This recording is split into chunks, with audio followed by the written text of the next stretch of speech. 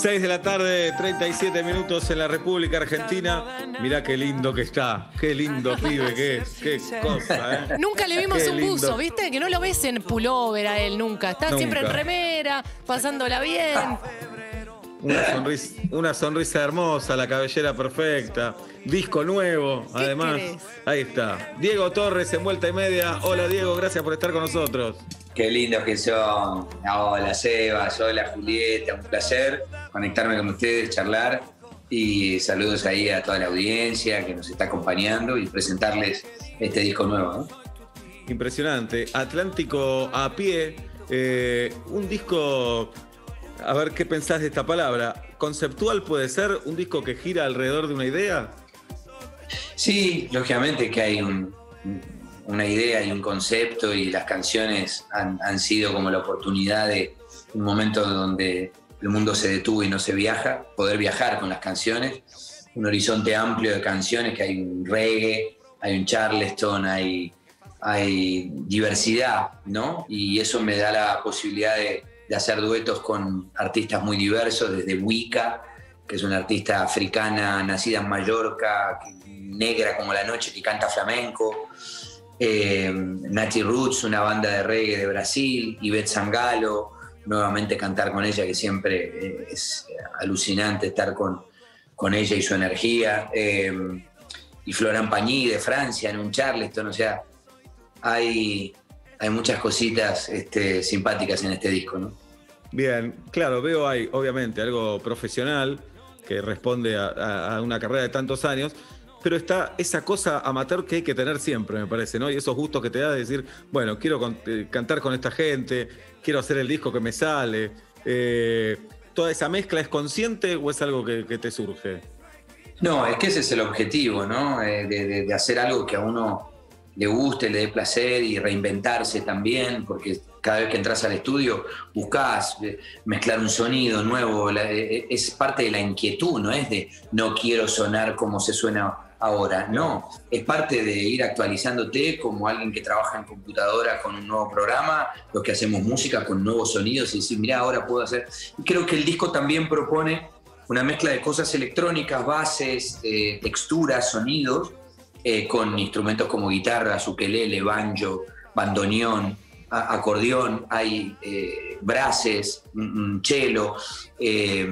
Así que bueno, de- destaco el trabajo de mi compañero socio con el, cual hice el disco, que es Yadam, que es un cubano, que es un talento, y realmente fue, fue genial poder trabajar con él a fondo, el repertorio, los arreglos.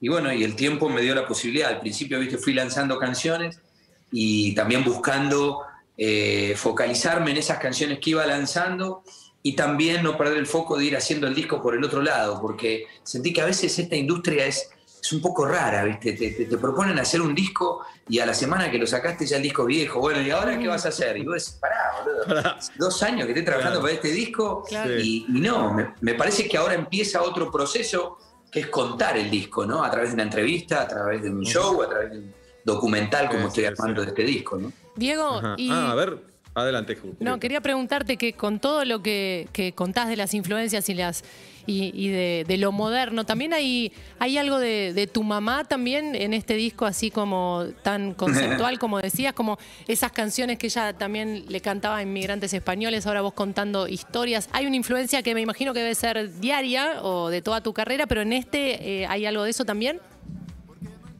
Y yo siento, viste, no me voy a poner místico, pero la vieja siempre está ahí de alguna manera, ¿no? Eh, en todo sentido. Eh, Yadam me decía, es increíble las cosas como se te dan para ti, compañero, porque él es cubano, entonces te habla, te habla así.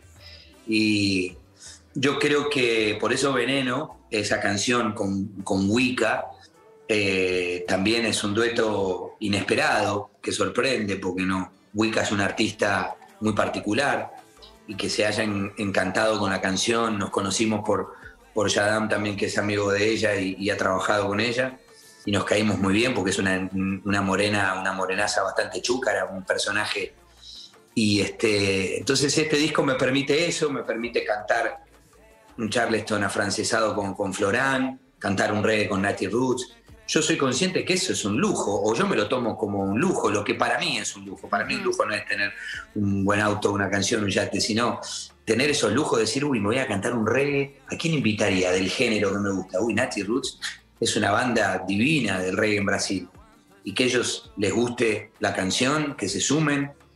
Y bueno, todas esas cosas se fueron dando y se van dando, ¿no? A medida que uno va trabajando en, el disco. Y soy agradecido por eso, porque todo eso embellece las canciones y le dan, le dan un toque a, cada canción, la participación de los colegas.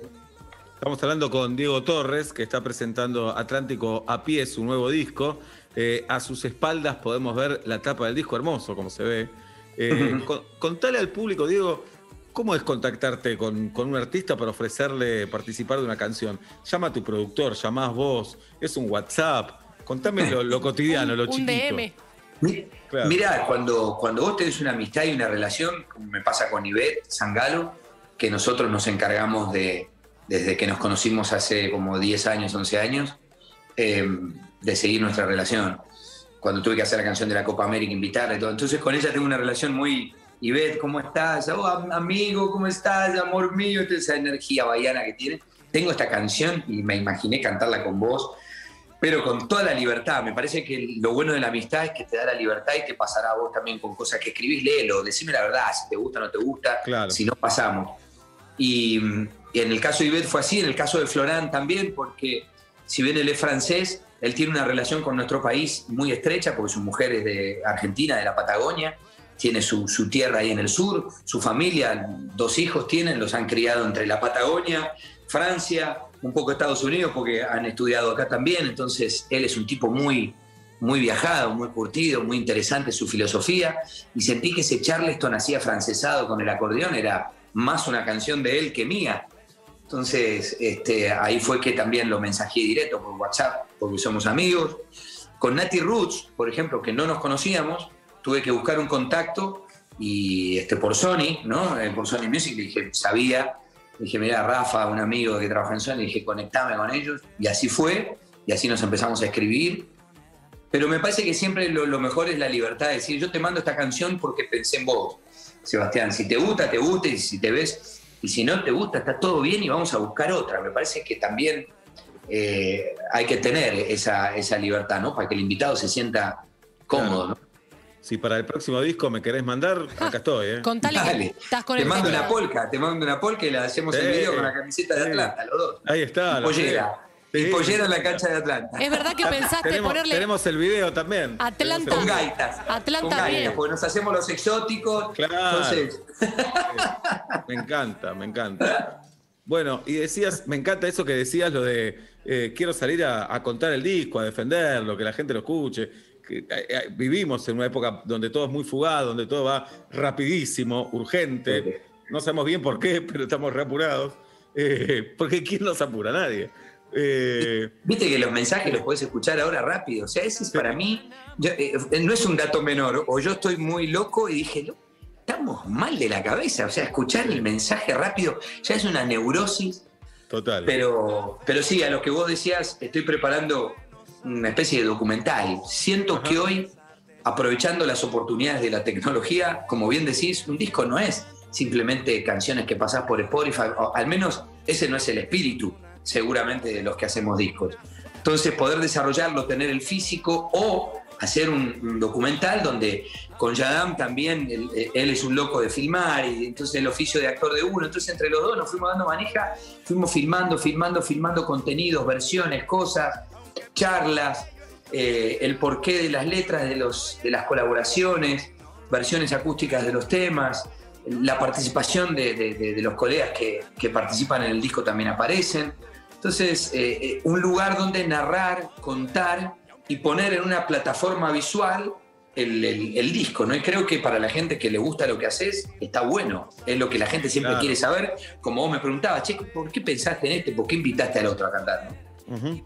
Bien, todo esto contabas recién de lo musical. Eh, y con respecto a las letras, ¿cómo es el proceso? El proceso de las letras siempre vas buscando claramente a ver a qué apuntás, que de qué quiero hablar, por ejemplo, el rinconcito, ¿no? la canción con Florán. Eh, darle valor a ese rinconcito que todos tenemos en la vida. Yo me armé este rinconcito para hacer las notas acá en casa, y siempre tenés un rinconcito especial en, tu casa, en tu lugar, que tu mujer sabe que es intocable. Entonces, bueno, partís de una idea madre como diciendo, bueno, aunque esté complicado, no podemos viajar, no podemos vernos, ni siquiera en la luna, eh, quiero que sepas que yo voy a tener siempre un rinconcito para vos, ¿no? Entonces, bueno, eh, siempre buscas la letra desde ese lugar y a veces vas construyendo, para sentirme libre, el reggae que abre el disco con Natalie Roots habla de esa libertad que, todos perdimos y los que viajamos tantos años trabajando y sentíamos que y era normal para nosotros Colombia, Colombia, España, España, la Patagonia, Calafate, Salta, Salta, Lima, Lima, muchos, muchos años de eso.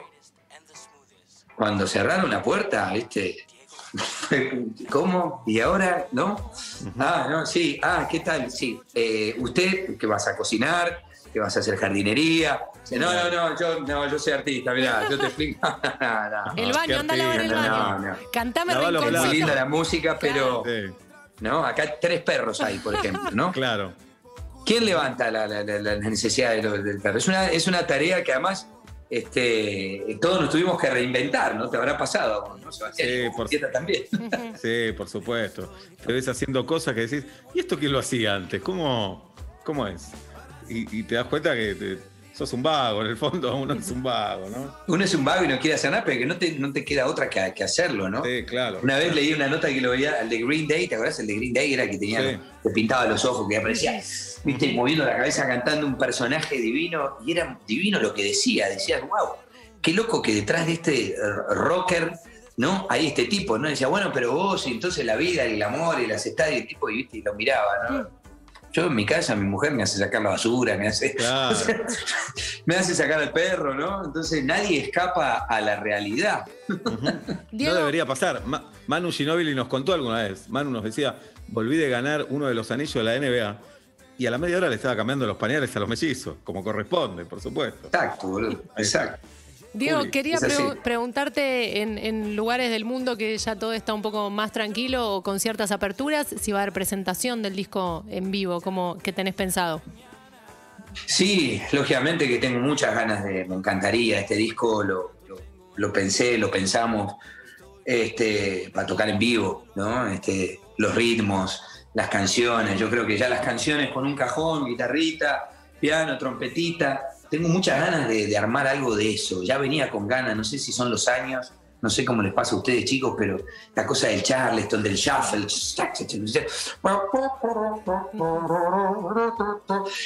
y llevar las canciones ahí.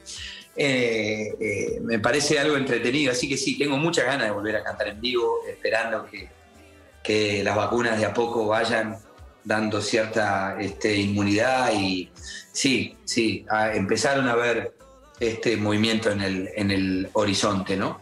Y también tenía el disco sinfónico que creo que nos hemos encontrado y hemos charlado también cuando salió ese disco y, también me encantaría este, poder este, hacer esa gira sinfónica con diferentes orquestas en diferentes lugares. Ahora hay una posibilidad de hacerlo en España, entonces Sí, con unas, con unas ganas locas. Y acá en mi casa ni te cuento, le preguntas a mi mujer y dices, ¡Oh! ¿cuándo se va? ¿Cuándo se va este pibe? Claro. ¿Cómo lo vamos a extrañar? no sabés. Es verdad que ella está cerrando los estadios, ella cierra las fechas. Dice, sí. Está, llamando por atrás diciendo, bueno, escúchame, no importa, no importa, aunque le paguen menos, no importa, que vaya igual. Es verdad que está, no están... público, yo compro las entradas, dice, yo las compro. Están recién casados, pero van a tener luna de miel por separado cuando se pueda. Sí, no, no, ya no me quieren ni ver. Ahora no, ahora estamos en un buen momento. Me, pero me costó. son esas cosas mareas. ¿qué, pasó que están en un buen momento? claro, es, lo que yo me pregunto. Es un buen título para que desarrollemos una comedia, Sebastián, siempre te lo digo. ¿eh? Sí, sí. ¿Qué pasó que ahora estamos en un buen momento? Y viste que siempre te resulta raro, viste, es como desconfías del buen momento. Desconfías, desconfías. Algo va a venir después, ¿no? Algo va a pasar. Estás esperando, viste, el golpe certero, viste. El boomerang, el boomerang ese que te agarra a los pavotes y se te cae, ¿no? No, no, no. Pero tiene que ver con la esencia del ser humano que no se banca los buenos momentos. Es un buen momento y punto. La estás pasando bien. Es eso. Necesita, necesita, aunque sea ver cercano un conflicto. Ajá, algo de eso. Porque si no, el bienestar lo, lo, pone en un momento que dice, qué bien la estoy pasando. No, pero mira cómo está ese cable ahí. Pero ¿quién dejó esto acá? ¿Eh? Sí, Yo no lo sí, había dejado sí. así. ¿No? ¿Viste? Y el tipo Ajá. por algo, por algo tiene que pelear. ¿entendés? Sí, igual no te imagino calentón así, enojado. Un poquito sí, ¿Sí? un poquito sí, la, ¿Sí? la tanada. Un poquito suyo. Ajá, un poquito. Por ejemplo. No, porque eh, somos los dos. Eh, Débora tiene sangre de Calabria, yo por parte de papá y yo soy cacha, y se te sube la mostaza, entonces, viste, con el tiempo tenemos que aprender a... Pero bueno, yo creo que la pandemia fue un buen ejercicio para eso, para saber, como decía aquí, ¿te acordás? Eso, hay que saber entrar para que saber salir. Sí, menos. ¿No? Y yo creo, Sebastián, te lo digo así, que hay momentos donde uno tiene que saber dónde retirarse, donde es, es negativo y contraproducente todo lo que estás diciendo, no, va a tener un, efecto contrario. Y bueno, eh, eso es lo que también tuve que aprender, ¿no? ¿Cuántas Bien. cosas se aprendieron en este tiempo de terapia, no? Parejas destruidas, parejas que Uh. se casan, así es la vida. Bueno, mi mujer me decía en pandemia, en cuarentena, en realidad, pandemia seguimos.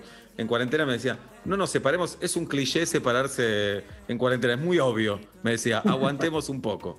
Así que solo por eso no nos separamos. Imagínate cómo está Dos vacunas y Es, es que Sí. Es verdad, es verdad, es una buena, es una buena razón. No Sí. entreguemos, no vayamos a lo fácil. Ay, Claro. ya se me rompió el aire, entonces No. me voy a dormir. No, quédate acá, hace calor, quédate acá y bancatela. Vamos a pelearla acá, vamos a pelearla. Y, y con los músicos, ¿cómo sos? Digo, porque ahí sos líder, sos jefe, tenés que dar indicaciones.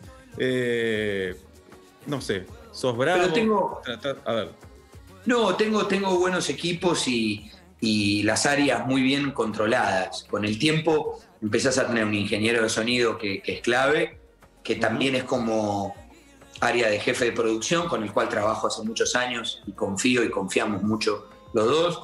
Eh, a la hora de montar un show, el socio que busco para el montaje del show, eh, armado, arreglos, eh, luces, equipo, pantalla, o sea, vas armando las áreas, vas trabajando, eh, hablo específicamente en las giras, no los shows en vivo, vas armando una lista, vas armando un repertorio y ahí vas, vas empezando a ajustar eh, los enganchados, los, los famosos, ¿te acuerdas? Los 17 top hits, sí, claro. los éxitos del verano que salía la chica Sí. con el short, Sí, con el sí, short de, de jean y todos comprábamos el disco por la tapa, ¿no? Claro, por supuesto. Por supuesto. no por los temas. Eh, entonces, nada, buscás esos enganchados de cinco o seis temas, buscás parar acá, buscás los diferentes momentos y así vas construyendo el show y vas haciendo partícipe a las diferentes áreas, ¿no? Así es como me gusta trabajar. Y delego, delegan en mí. Te, cuesta delegar. Como lo, como lo dijiste, siento que te cuesta delegar. Sí, sí, siempre Sí. cuesta. Eh, y bueno, pero, pero uno aprende a trabajar en, en- en equipo y a ajustar tuercas y a depositar confianza en el otro y Bien. siempre, siempre he armado buenos equipos. Bueno, ¿y cuáles son, obviamente cuando toques en vivo, Atlántico a pie, tu nuevo disco lo vas a tocar completo, supongo, pero de los clásicos, esos cinco o seis, ¿cuáles van? Y no, la gente no, no, no- te permite que no cantes. Tratar de estar mejor, tiene que estar. Ni tratar de estar mejor, ni Penélope, Sí. ni, ni, qué sé yo, ni Color Esperanza, ni Sueño. Ajá. Bueno, hay tantas canciones, por eso a veces agarrás y pegás cuatro o cinco con un nuevo arreglo y, y Claro. vas como via- viajando en tus canciones del pasado para dejar a todos un poco contentos. Un ¿no? popurrí. Ujú. Un popurrí. Popurrí, tiene que estar, claro. Eh, ¿Alguna vez le tomaste celos a una canción o bronca? ¿O, o te cansó simplemente? No tanto. Sí, pasa, pasa. Pasa. Son como las novias, ¿viste? Que le la, la más, ¿cómo puede ser que la amé y después le tomé bronca y no la quería ni ver? Con las canciones te pasa, Claro. te pasa lo mismo, por eso le escribís canciones a las novias, ¿no? Y otra Eh, también que te hayas reenamorado de canciones de, de tus primeras épocas, que las hayas redescubierto. Y eh, siempre volvés, volvés a, a agarrar canciones, siempre jodíamos con esa, ¿te acuerdas? Cuando decíamos. Cuando ibas al colegio, ¿te acordás, Juli? Mm. En el cielo un ángel yo. Por Vamos FM todos. Hit. Yo la tenía grabada de la radio. Te volvés a encontrar con esas canciones de otro Sí. lugar y las cantás de otra manera. Sí. Y está Estamos bueno, juntos. es como un reencuentro, es como Sí. amigarte con, con tu pasado y Ujú. hacerlas de otra manera. Y está, está bueno, está bueno ese proceso. Yo creo que sí, vengo viviendo más eso ya a esta edad que, que el cansancio con las canciones. Por eso tengo ganas de, de hacer versiones de, de canciones y con otros arreglos. No, agarrala, agarrala que ya un poco en el sinfónico se mostró. ¿eh? Agarrala, agarrala la guitarra. un poquito, un poquito más. No, mirá, y A A ver. ver. Este es el reggae, por ejemplo, que habla el disco que, que me tiene.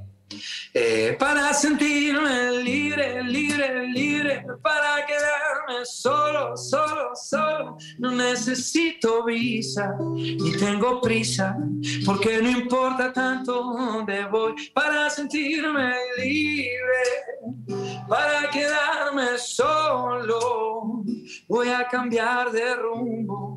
Y en un segundo, así descubro todo lo que soy. Quiero ser libre, quiero ser libre. Irme un ratito de mi casa a pasear el perro, ya que no hay giras ni nada por el estilo. Qué lindo, muy bueno. Para sentirme libre, Qué se llama esta canción. Abre el disco de Diego Torres. Mira, mensaje de Radagás, boludo, de un colega tuyo, mira, recién. Me aparece? ¿viste que te aparece? Sí. Te aparece ¿Querés, en- ex- querés exponerlo y decirle, decir qué dice o no? No, es que si me meto a ver el mensaje te pierdo a vos, Ah, ¿viste? La- tecnología es, es mi enemiga, ¿no? Dale, Rada, Bien. espera que termine la nota, Rada. Aguantá, Rada. Atlántico a pie, este tema abre el disco eh, para sentirme libre. Eh, me imagino en una playa escuchándolo yo, Sí, eh, sí. ahí tirado. Sí, total. No borracho, pero un poco alegre. Una no borracho, pero alegre. cervecita, una cervecita. Es para una cervecita, una caipiriña. y-. Y, después, después viene esta, un pedacito de. Vengo a presentarme, vengo a presentarme como soy. No estoy en la lista de tus pretendientes. Y aunque sé que tienes muchos candidatos para amarte, te aseguro que no hay nadie como yo. ¿O no? Se va. Claro, Eh, sí, escuchá. pero claro. Por eso Me tu gusta- mujer está con vos, porque no hay nadie como vos. Me gusta, te la tirás de perdedor, pero decís, como yo no va a haber Claro. otro. ¿eh? Soy el único. Va a encontrar alguno diferente, ¿verdad? Sí, algo sí, mejor, sí, pero como esto, pero- imposible, imposible. Bien. Uno busca ponerse en ese lugar en las canciones, es la única que te queda. La Si que no, queda, ¿no? Cada uno se luce con lo que puede, ¿no? Sí, pará, y después de tantos años, Diego, estamos hablando con Diego Torres, Atlántico a pie, se llama su nuevo disco. Después de tantos años, eh, antes de grabar un disco, ¿te agarra la angustia de decir, no tengo canciones, no sé sobre qué escribir, qué voy a componer? ¿O llega todo eso? Ah, te pasa. Sí, pasa, pasa. Por, por eso Atlántico a pie es como este, crónicas de un naufragio, ¿no? Porque, porque sí, pasás por momentos donde decís, Atlántico a pie, la canción es una canción, por ejemplo, que, no querían hacer por donde yo la quería llevar, ¿viste? Yo la quería llevar porque, porque yo cruzo el Atlántico a pie, yeah, yeah, no, no, no, no. Ellas querían hacer este, por otro lado, ¿no? Y por eso nació en ese plan, eh, más balada, y así apareció la canción que estaba trabada, y a mí me gustaba el título, y sentía que el disco tenía que llamarse Atlántico a pie, pero me agarró un conflicto con la canción que en un momento le dije a Yadam, pobrecito, que era mi terapeuta en el estudio, Yadam, no, no hace falta que haya una canción que se llame Atlántico a pie. El disco se puede llamar Atlántico a pie y no tiene por qué haber una canción. Tranquilo, hacer, me decía el cubano, tranquilo, bla, bla. Ujú. Y ahí empezó a tocar la canción en, en la guitarra de una manera austera y bueno, y la canción se fue para otro lado, ¿no?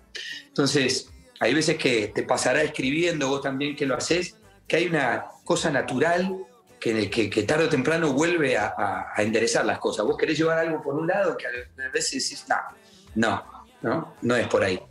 No, y además eh, la angustia y la inseguridad es parte del camino, es parte del viaje siempre. Siempre. Siempre. La Cuando en un incertidumbre. momento- En un momento decís, esto es una mierda. ¿A quién le va a gustar esto? Es increíble. Es increíble. Una vez me contaron de un deportista muy consagrado, muy consagrado ya cuando estaba terminando la carrera, que un jugador muy joven le dice, che, estoy nervioso, estaba por empezar, pero estoy nervioso. Y este jugador consagrado le muestra las manos y le dice, mira, yo estoy temblando. Todavía me sigue pasando, no es que no te pasa. Entonces, por un lado es angustiante, pero es una buena señal que no te dé lo mismo, Totalmente. ¿no? Es Sí, sí, es la famosa crisis ¿no? de, o existencial de- del artista, del creativo. Como te acordás, Eh, siempre me quedó marcado a, referencia a eso del gran pez, la película cuando se encuentra, ¿te acordás? En el viaje, la, la habrás visto, se encuentra con el, el poeta, el actor este que tiene los ojos saltones, el de Fargo, que es buenísimo. Y el tipo estaba tirado ahí, no había escrito nada en el tiempo que estaba ahí porque no le pasaba nada. Claro. Era tan feliz que no le pasaba nada, ¿no? Entonces creo que, como decís, las crisis, las incertidumbres, las cosas, las trabas, los temores, las inseguridades siempre están y son parte de, de- de este asunto, ¿no? Bien. ¿Cuándo vas a venir a Buenos Aires, Diego? Pronto, espero que, que la vida me dé la posibilidad ahora de, de- de poder empezar a, a viajar y de poder de a poquito ir recuperando esa libertad, ¿no? Bueno, te esperamos. Entonces, cuando vengas para acá, Atlántico a pie se llama el nuevo disco. Ojalá se abra el mundo, ojalá lo puedas presentar por todos lados y obviamente en Argentina y nos veamos eh, en persona. Bueno, ya estoy grabando casi Feliz 2. Cuando sea la 3 y estés en Buenos Aires, te quiero ahí. Dale, boludo, sabes que me encantaría eh, participar en alguna de tus comedias. Eh, siempre te recordamos con nuestra querida amiga, ¿cómo se llama la vestuarista tan divina, la chiquitita? Que el marido creo que escribía con vos. ¿Puede ser? La vestuarista Inés. Vestu- No. La vestuarista de cine. Ah, no, Roberto, eh, Roberta. Roberta. Sí, claro, Roberta Pérez. ¿No? ¿El marido de Roberta no estaba involucrado Es- en es algo el- clandestino el- contigo? Eh, algo clandestino y es el director de la serie, Hernán Garciuni. Exactamente, Claro, ¿viste? Ahí está, ahí está. Bien. Este, Es la jefa del que- de la serie, además. Claro. la, la gran, la gran Roberta. Así que bueno, me alegro, me alegro que estés ahí Bien. trabajando, que estés activo y haciendo contenidos. Así que bueno, cuando necesites algún taxista, algún carnicero, algo, cualquier cosa, te hago cualquier personaje. Perfecto. Soy un actor muy versátil, este, lo Sí, digo, ¿eh? lo sabemos. Soy lo capaz de ponerme pequios, este, de, ponerme un brazo acá, en cualquier. En la frente. Espectacular. bueno, si querés tocar algo como para cerrar la nota, no nos vamos a ofender. Eh, Pero por favor, pero por favor, ¿de dónde me sacaron? Me sacó esto. Ahí está. Hacé una de los redondos, careta. Así dale, loco, así una de los redondos. Recuerdo que me dijiste esto es para siempre. Parece que con el tiempo se fue olvidando. Lo sé porque ya tus ojos no me miran tanto. Y esos besos dulces que me saben amargos. Yo maldigo el día que dijiste que no eras mía. Yo sé que tú estás herida y herido yo. No nos sirve un rencor que dure toda la vida. Me dices que me quieres o te lo digo yo. Y este corazón que anda loquito como la primera vez que te besé. Ay, y este corazón te llama y te pide que perdones Qué lindo. Gracias, hermosa. Diego. Muchas gracias por esta nota. Abrazo grande. Gracias a ustedes. Hasta Siempre un placer conectarme y charlar. Sebas, lo mejor para vos y Juli también, eh, que la vida nos siga encontrando. Gracias, Beso grande, Diego. abrazo. Gracias. Señoras y señores, Diego Torres pasó por vuelta y media aquí en Urbana Play.